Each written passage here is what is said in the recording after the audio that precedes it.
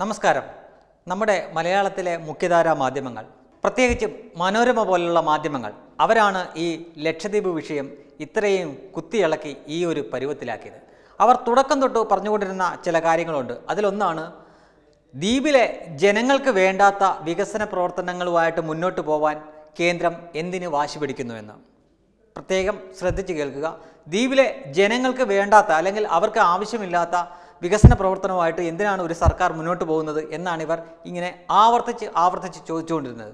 അപ്പോൾ അതിന് പിൻബലം ഏകാൻ വേണ്ടിയിട്ട് അവർ ലക്ഷദ്വീപിൽ നിന്നുള്ള സിനിമാ സംവിധായികയാണ് എന്ന് പറഞ്ഞൊരു വനിതനെയൊക്കെ പിടിച്ചിരുത്തി അവർ ചർച്ചയൊക്കെ നടത്തുകയുണ്ടായി. അപ്പോൾ അവർ പറഞ്ഞിരിക്കുന്ന ഒരു പോയിന്റ് ഇതാണ് ആ ദ്വീപിലെ ജനങ്ങൾക്ക് താല്പര്യമില്ലാത്ത അല്ലെങ്കിൽ അവർക്ക് ആവശ്യമില്ലാത്ത വികസനവുമായിട്ട് എന്തിനാണ് സർക്കാർ കേന്ദ്ര സർക്കാർ മുന്നോട്ട് പോകുന്നത്?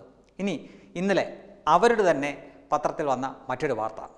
അതായത് ഇന്നലെ ആദ്യമായിട്ട് അഞ്ച് മെട്രിക് ടൺ ട്യൂണ ട്യൂണ മത്സ്യം എന്ന് പറഞ്ഞ ഒരു മത്സ്യമുണ്ട്. അതും നമുക്കെല്ലാവർക്കും അറിയാവുന്നതാണ് അതിന് അതിന്റെ മലയാള പേര്. അത് ലക്ഷദ്വീപിലുള്ള അല്ലെങ്കിൽ ആ പ്രദേശത്തുള്ള ഒരു ടൂണയ്ക്ക് പ്രത്യേകതയുണ്ട്. അതിന് ഉയർന്ന ഗുണമേന്മയുള്ളൊരു ടൂണയാണ് അതിന് ജപ്പാൻ പോലെയുള്ള രാജ്യങ്ങളിൽ വലിയ ഡിമാൻഡാണ് ഈ ടൂണയ്ക്ക് അപ്പോൾ അങ്ങോട്ടേക്ക് കയറ്റി അയക്കാൻ വേണ്ടിയിട്ട് അഞ്ച് മെട്രിക് ടൺ ട്യൂണയാണ് കഴിഞ്ഞ ദിവസം ശീതീകരിച്ച് പരീക്ഷണാടിസ്ഥാനത്തിൽ ആദ്യമായിട്ടാണ് ചെയ്യുന്നത്. അത് കയറ്റി വെച്ചിരിക്കുന്നത്. അതിനു വേണ്ടിയിട്ട് ബാംഗ്ലൂരിൽ നിന്ന് ഒരു കാർഗോ ഫ്ലൈറ്റ് ചാർട്ട് ചാർട്ട് ചെയ്തിട്ടാണ് ഈ ആദ്യം ആദ്യമായിട്ടുള്ള ഈ എക്സ്പോർട്ട് നടത്തിയിരിക്കുന്നത്. തുടർന്നും അങ്ങനെ തന്നെ ചെയ്യാനാണ് സർക്കാർ തീരുമാനിച്ചിരിക്കുന്നത്.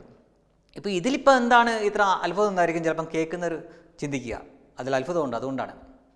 ഇങ്ങനൊരു സംഗതി തീർച്ചയായിട്ടും നടപ്പിലാക്കി കഴിഞ്ഞാൽ അത് വിജയിച്ചു കഴിഞ്ഞാൽ അതിന്റെ ഗുണം ആർക്കാണ് ഉണ്ടാവുക എന്നത് അതൊരു ചർച്ചാ വിഷയമാണ് അതവിടെ നിൽക്കട്ടെ. ഇതിനെ ഈ മനോരമ പോലുള്ള മാധ്യമങ്ങൾ നമ്മളിലേക്ക് അടിച്ചേൽപ്പിക്കാൻ ശ്രമിച്ച ചില പൊള്ളയായിട്ടുള്ള വാദങ്ങളുണ്ട്. അതാണ് അതിന്റെ പൊള്ളത്തരമാണ് തുറന്നു കാണിക്കാൻ പോകുന്നത്. അതായത് ഇവർ പറഞ്ഞിരുന്നത് തൊണ്ണൂറ്റി ഒൻപത് ശതമാനം ജനങ്ങളും അവിടെയുള്ള ജനങ്ങളും മുസ്ലിം സമുദായമാണ്. ഓക്കെ ആയിക്കോട്ടെ.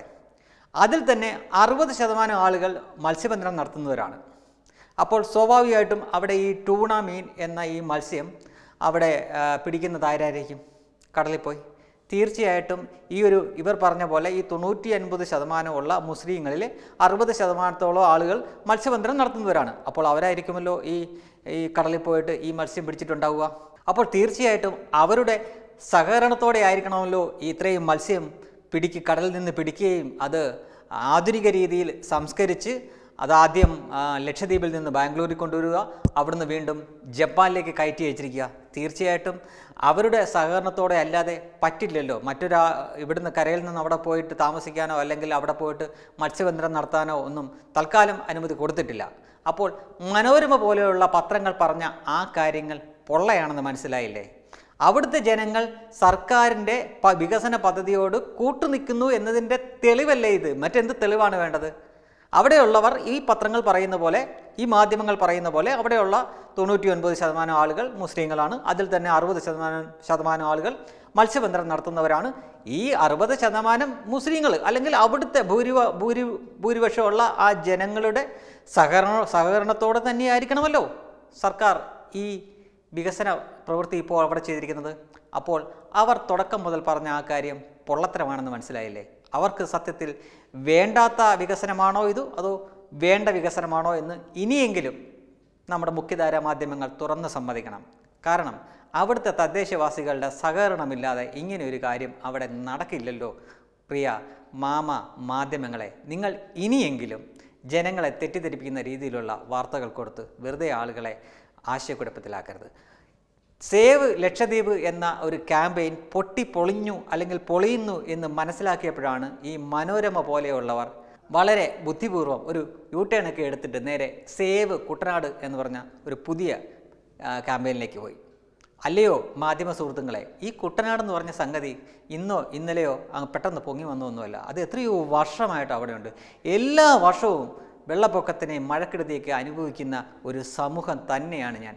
അതിലെ ഒരു ഇര കൂടിയാണ് ഈ പറയുന്ന ഞാൻ. ഞാനും ഒരു കുട്ടനാട്ടുകാരനാണ്. രണ്ടായിരത്തി പതിനെട്ടിലെ വെള്ളപ്പൊക്കത്തിൽ ഇരുപത്തിനാല് ദിവസത്തോളം ക്യാമ്പിൽ കഴിഞ്ഞിട്ടുള്ളവനാണ് ഞാൻ. അപ്പോൾ എനിക്ക് കുട്ടനാടി കുട്ടനാടിനെ പറ്റി അറിയാം. ആ കുട്ടനാടിനെ പറ്റി ഇപ്പോഴാണോ നിങ്ങൾക്ക് ബോധം വരുന്നത്?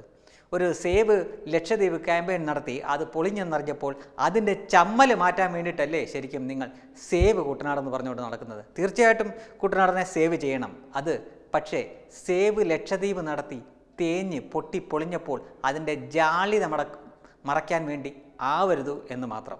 വെബ് ഡെസ്ക് തത്വമൈ ന്യൂസ്.